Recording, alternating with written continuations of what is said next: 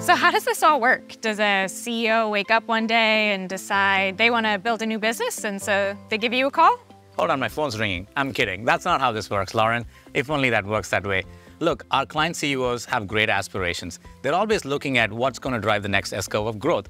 But it's seldom that they could envision that a venture could deliver that. And we have an obligation to show them what is the art of the possible. For example, if you're an industrial company, you could think about moving away from the physical product and driving more stickiness through a you know, subscription model that gets paid for performance. You could be a healthcare provider who wants to get into digital health and telemedicine. You could be a payment provider who would want to go downstream and get into e-commerce for all, all we want right? You, you get the drift. Like there's a recurring theme, yes. Uh, each time they're building on their corporate endowments, those competitive advantages that they have, the moats. They're using the data, the channel, their distribution, and their customer base to build that new business model and drive their next S-curve of growth.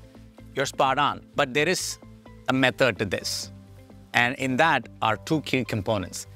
And both of them have significant issues in the way the market's approaching it today.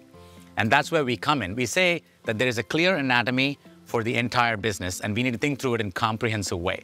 Then there is this notion in the market that people think about this as digital transformation or tech transformation. Neither of that can be applied to the system.